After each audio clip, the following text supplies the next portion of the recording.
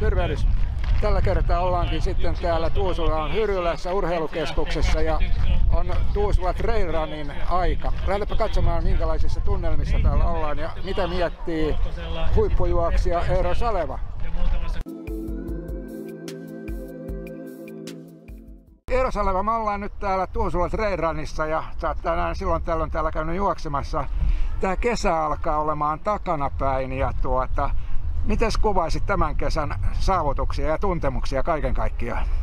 No tietysti tällä kesänä tuli se Suomen mestaruus 10 tonnilta, mikä oli oikeastaan se su- suurin juttu, mitä koronavuonna oli tarjolla, että kaikki ulkomaankisathan jäi nyt sitten käymättä, että niitäkin oli kalenterissa. Kalenterissa oli neljä, neljä kisaa merkittynä keväällä Eurooppaan, mutta yksikään niistä ei sitten toteutunut. Ja mutta tota, kyllä sitten 1500 metrillä oli kovaa kotimaista kilpailua, niin siinä sitten tuli hyvä, hyvä tulosparannus. No jos ajatellaan, mulla nyt tässä syksyssä ja tota, tämä Tuusula Trail Run on tämmöinen syksyn maastojuoksukilpailu. Minkälaisia odotuksia tähän kisaan lähet? No vaihtoehtona oli juosta eilen mäkivedot ja tänään pitkä lenkki tai sitten eilen pitkä lenkki ja tänään sitten kymppi maastossa maastossa vauhtikestävyysalueella, niin mä ajattelin, että mä otan nyt tämän kympin, kympin VK tähän. Eli, eli tällaisen harjoitusmielessä tässä liikkeellä. Tommi Ekblom valmentaa sua. Minkälaisia muutoksia sun harjoitteluun mahdollisesti tulee ensi kaudelle? No edellinen vuosi mentiin aika, aika puhtaasti määräpohjalla, että siinä tuli 7000 kilometriä juoksua, mutta nyt sitten en, ensi kaudella niin siellähän on Euroopan mestaruushallit on ensi keväänä, niin se tarkoittaa sitä, että, että se kevät-talvi pitää harjoitella pikkusen kevyemmin ja sitten vähän tehovoittoisemmin, että olisi sitten mahdollisuus juosta sitä kolmosta ja yrittää sitä EM-rajaa halleissa. Mutta ei, ei oikeastaan muuta, että kyllähän no ensi kesä tietysti olympialaiset on vielä, vielä hyvin kaukainen tavoite mulla, että kesä, kesä, kesän tavoitteena on sitten vaan parantaa ennätyksiä sillä lailla, että sitten kun 2022 vuonna on taas Euroopan mestaruuskisat Münchenissä, niin että olisi sitten niin kuin niitä varten jo juostu sellaiset ajat, että, että ei tarvi sitten tulosrajojen kanssa enää EM-kisavuonna painia. Tosiaankin niin, tota, tavoitteita riittää sulla.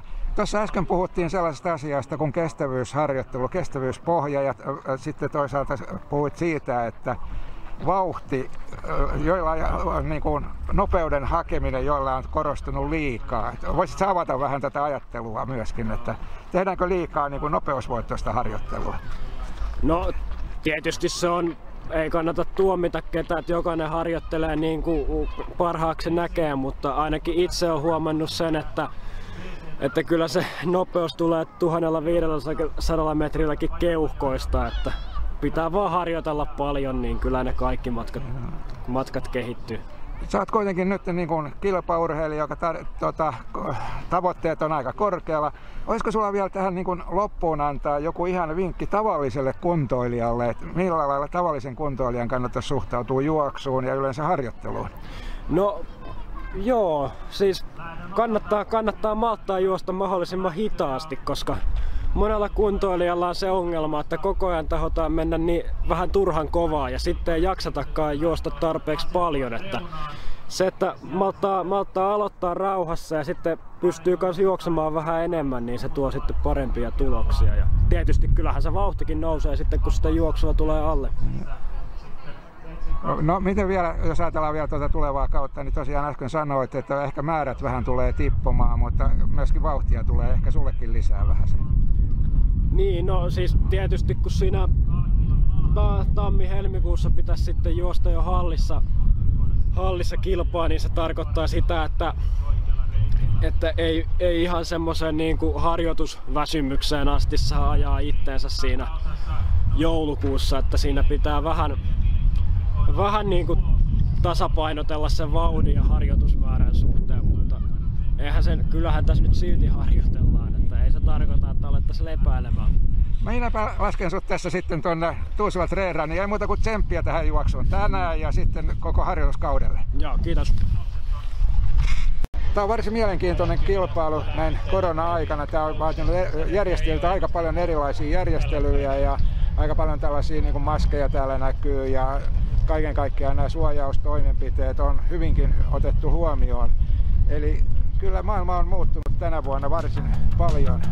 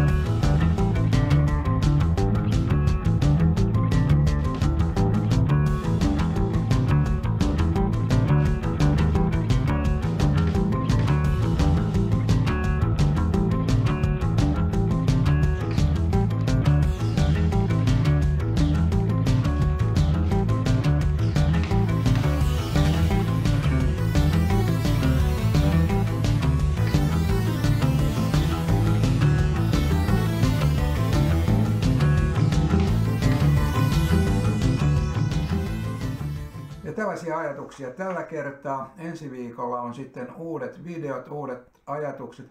Ei muuta kuin pysyppä kanavalla. Ja muuten, jos haluat kommentoida tätä videota, niin laitapa tähän kommenttikenttään sitten kommentteja. Ja jos tykkäät tällaisista videoista, niin tietysti tykkää, painiketta voit painaa.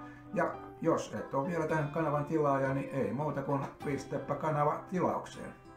Moi moi! thank you